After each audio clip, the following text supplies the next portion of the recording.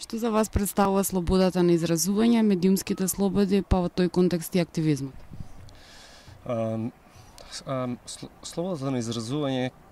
како граѓани кои што ја практикуваме сите секојдневно, мора да значи и одговорност. Одговорноста повлекува да знаеме и како комуницираме и што пласираме во јавност.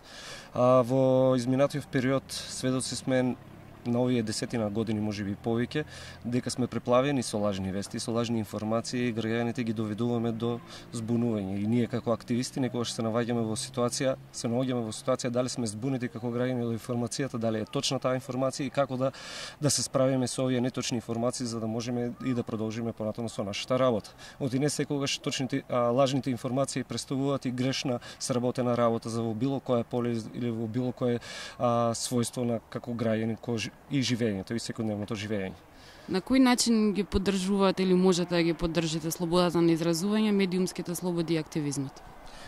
Па секогаш се трудиме при нашето действување да имаме точни информации да ги пласираме во јавноста и, и до граѓаните за да можеме сите да знаеме со какви каква е таа информација, дали е таа точна информација и да граѓаните да ствараме доверба. Секогаш кога пласираме точни информации, граѓаните а, во периодот што следи ја ја проверува таа информација дали е точна. Значи на крајот од денот ако една лажна информација или лажна вест ако испласираме ние, таа секогаш ќе најде на зид и ќе биде осудена од страна на граѓаните до кое се однесува. И секогаш при нашето действување и работење, конкретно со нашата организација, сакаме да да пласираме и да да пренесуваме точни информации за да можеме и општеството да го движиме напред со нашата работа. А, инаку инаку а, сведок сум на многу лажни вести, на многу лажни информации. Дури има одредени групи на луѓе лоб, и можем да кажем кои што се кои што се нарекуваат новинари, а пласираат точ клевити, навреди, а, и тоа се спакувано во некоја форма како на вест, низ портал а, промакнато, па тоа па на, на, на таа вест се спинува друга лага и од таа лага па друга лага и така се гради една едно спинување на, на, на информацијата која што не е потребно да да има кај граѓаните. А ние сме сведоци дека имаме толку непотребни вести, толку лажни информации, толку непотврдени а, а,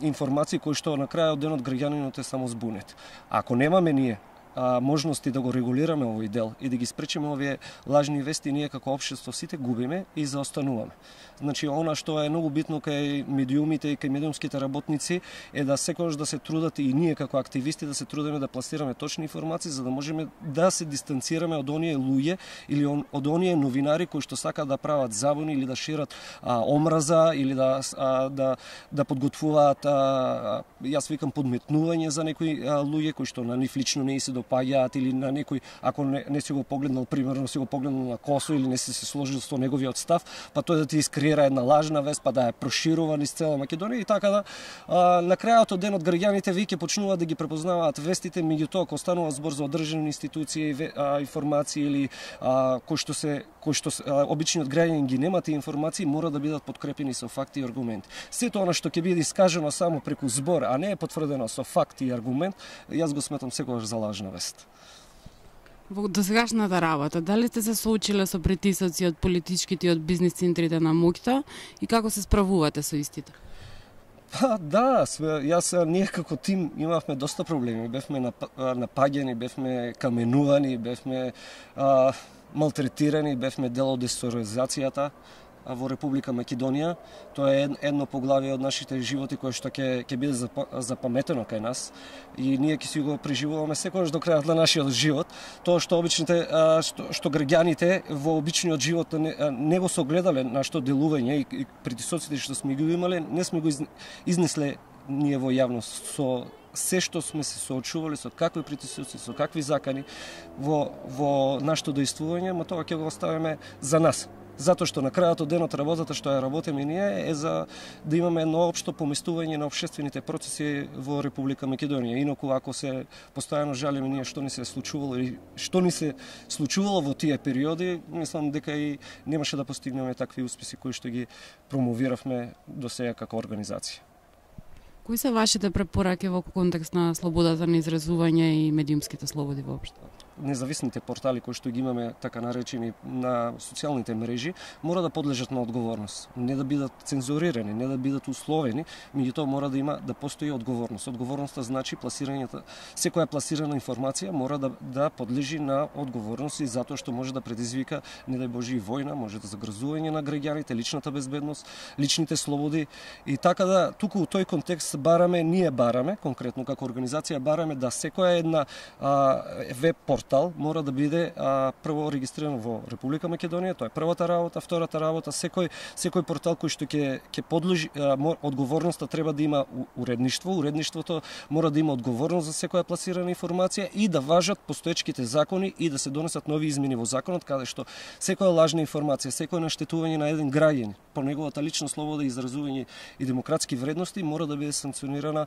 А, ние се залагаме 100%, значи а, а законите мора да важат за сите и не сме да има селективност во а, известувањето или креирањето на лажните вести. На крајот од денот, овие портали кои што се направени за лажни вести и за спинување на информациите во Република Македонија доведува такви проблеми во нашето општество што дури на крајот може да, да дојде на улица со некој граѓанин да се а, истепаат или да направат некој проблем. Значи,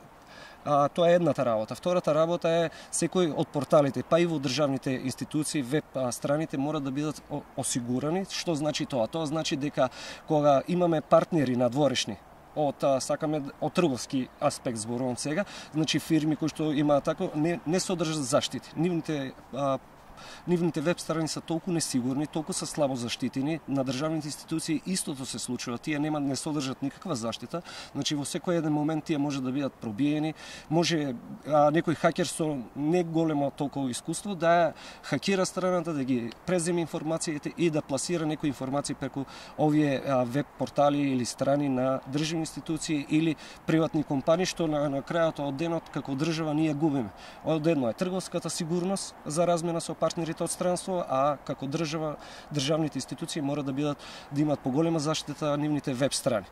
А, друга препорака која што е исто така многу битна е дека IT техничарите кои работат во Република Македонија, тие обично сакаме да ги заштитиме во нивната работа, мора да користат оригинални и лиценцирани софтвери кои изработуваат за да можат и тие да изработуваат софтвери кои што ќе бидат дадени на користење од страна на македонските граѓани. Е сега има еден дел тие не се вреднувани доволни, затоа тие обично работат или за странски компании или излегуваат од Македонија надвор. Нашата препорака во тој дел е дека мора да бидат заштитени IT техничарите, да се користат лиценцирани софтвери, а таа за тој лиценциран софтвер секако нели мора да има соодветна надокнада за IT техничарите кои што и IT експертите кои што работат. Другата работа околу а, регулирањето на медиумската сфера во делот на електронските медиуми а, и социјалните мрежи, тука мора да има едно тело кое што ќе го наследува начинот на пласирањето на информации. Ние не, не, не бараме тоа тело да биде да, а, како инквизиција, да представува инквизиција, меѓутоа мора да биде регулатор, да се знае што е точна информација и која некој граѓанин кој ќе препознае лажна вест и кој ќе да има каде да се обрати за да може да биде и тоа а, санкционирано онака како што предвидуваат и законите во Република Македонија. Јас се надавам дека во Република Македонија најголемиот проблем со лажните вести извираат од порталите на, во електронската сфера, значи по социјалните мрежи и од таму се презимаат низ телевизиите, од телевизиите се пласираат во во самата јавност. И тука не смееме да направиме грешка и нашата интенција ќе биде да секој оно што се бави со лажни вести, со ширење на говор на омрза, со клевети, ќе мора да биде санкциониран а, еднакво како и да направил кривично дело. Затоа што на крајот од денот, ако на, на некој животот му е уништен од страна на од а, некоја лажна вест или некоја лажна информација, ние нема да продолжиме како општество напред. Фала.